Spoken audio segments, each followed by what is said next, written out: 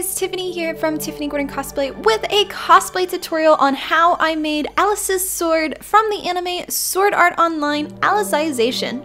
And if you'd like to make your own Alice sword, I have a 2D blueprint as well as a 3D CAD STL file available on my website www.tiffanygordoncosplay.com or see the link in the description. And for me, for making this sword, I first started off by making my 2D lines in Adobe Illustrator and then imported them into a 3D modeling program called Rhino 6 where I first started off by extruding my center guidelines to the height that I wanted the sword to be. And slowly started to build out each section of the sword using lines and so that way it looked like a giant wire formed version of the sword. And once the base line work was done, I could then use the two rail sweep tool and then start to puzzle piece each of the pieces together. And when that section was done, I could mirror it to the other side of the sword. I repeated the same process for pretty much the entire sword, doing each section individually. And when I was happy with what the top half of the sword looked like, I could mirror it to be the same on the bottom. And for some of the detailed floral pieces, I ended up extruding the section so it would be on both sides to the height that I wanted. And when I was happy with how the sword looked, I attached each of the pieces together using the Boolean tool, which will then make your entire sword one solid piece. The next step is going to be adding where the carbon fiber tubing is going to be inserted into the sword pieces after it is 3D printed. It is very important to have a inner bone structure inside your 3D printed swords because they are very likely to come apart if they are just glued together. So you want something to hold all the pieces and have a spine. And to do this, I got the measurement of my carbon fiber tubing, the length and the width, and then made the exact measurements in CAD and then I offset that just a little bit so that way you have enough room for your tubing to fit inside the 3D printed pieces and not be too snug, as well as have room to put glue to attach all of your pieces together. In total, I had five different pieces for this sword. One that went halfway down the sword and then through the handle, as well as two smaller ones in the hilt part, and then two longer ones that went the length of the blade.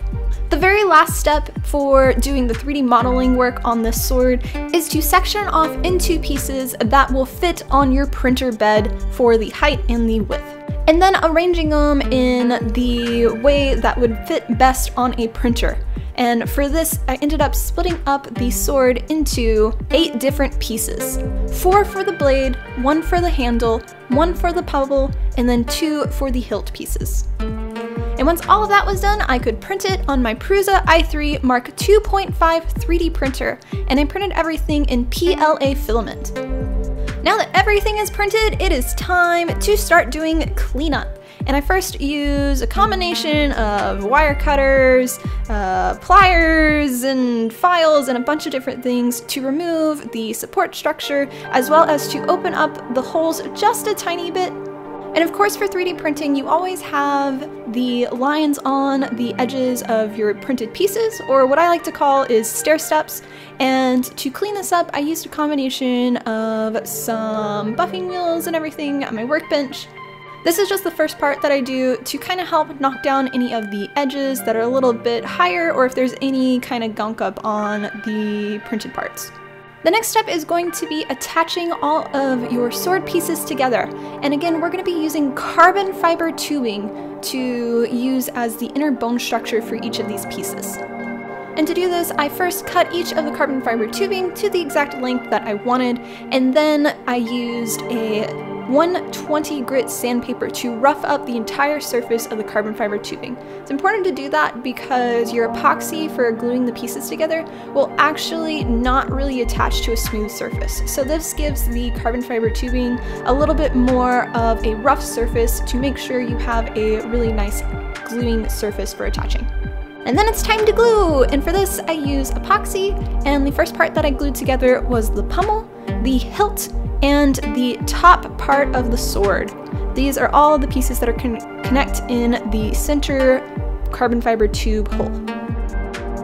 And after waiting 24 hours for that section to dry, I then went to attach the hilt parts of the sword, gluing the small little pieces of carbon fiber tubing to either side of the pieces and attaching them to the main part.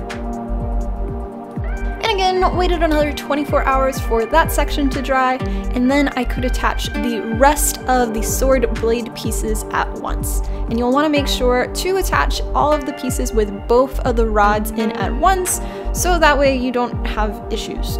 I highly recommend inserting the carbon fiber tubing throughout all of the pieces before gluing them to make sure that you do not need to open up any of the holes or you don't have a little booger from the 3D printer on the inside. And here's what the sword should look like once all the pieces are fully assembled and glued together. And for me, when I epoxy my pieces together, I would rather have more epoxy that seeps out of the edges to make sure that you a really strong fit together.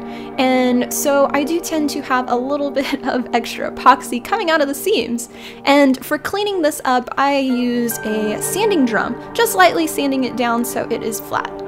Side note, you need to make sure you either have a vacuum to suck up all of the dust coming off from sanding this, or wear a respirator while doing this. You do not want to breathe in or inhale any of the PLA filament debris. Now for even more stair step removal. And for this I use DAP's flexible spackling, as well as wearing a glove and a little bit of water applying the material onto the entire surface of your printed pieces. This will fill all of the gaps or any seams. If you have any of the stair stepping, this will kind of fix all that. And once it's dry, you can sand it away so it's nice and flat. And for even more stair step removal to make your piece really, really smooth and flat, I use Sandable Primer, applying a heavy coat to the entire sword, and once it was dry, again, sand. Now time for painting, and for this we're going to be using Createx Colors Wicked Color Airbrush Paint line, as well as using my Iwata Eclipse airbrush paint gun. And the first part is doing our base coat of black onto the entire sword, and then went in with gold chrome onto the handle part. And when that section was dry, I then masked it off and then did a mix of Pyrrole Orange and Gold Chrome applying this paint color to the entire rest of the sword. And now for detailing. In all these pieces, I'm still going to be using airbrush paint, but I'm going to be applying it by hand with a paintbrush. And the first color I'm going to start off with is white, applying it to all of the diamond pieces as well as the flower pieces on the sword. And then used a daylight blue for the section just underneath the hilt, as well as a couple of pieces on the handle. And the last little bit of detail painting I'm going to do is with black, using it to apply around all of the edges of each of the pieces. This is really going to make the anime-like style pop for this sword. And the very last step for this sword is to seal all of your paint, and for this I used Createx Colors UVLS Clear Satin, applying an even coat onto the entire surface of the sword with a paintbrush. And that is how I made the sword for my Alice cosplay from the anime Sword Art Online Alicization. Big thank you for watching this cosplay tutorial and I hope you found it helpful for your next build. And if you did, press the like button, comment, and let me know what you thought about it, as well as subscribe to the channel. And a big thank you to my Patreon supporters who helped fund this video, and I will see you for our next cosplay tutorial. Much love, guys!